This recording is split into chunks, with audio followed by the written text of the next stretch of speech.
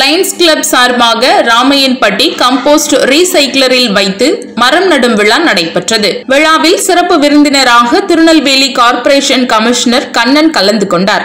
மேலும் மாவட்ட ஆளுநர் Lion engineer Justin Paul Lion engineer Jeganathan Lion doctor Viswanathan cabinet adviser doctor Rajendran coordinator Suthanthiralakshmi MJF Lion Pethraj MJF Lion doctor Shajahan MJF Lion Karuppusamy Lion Gajendra Babu Lion Thirumalai Murugan Lion Mohandas Lion Vetri Selvan Lion Dudley ஃபெம் Lion Nellaiyappan Lion பெல்லி ஆண்ட்ரின் ஆகியோர் கலந்து கொண்டனர்.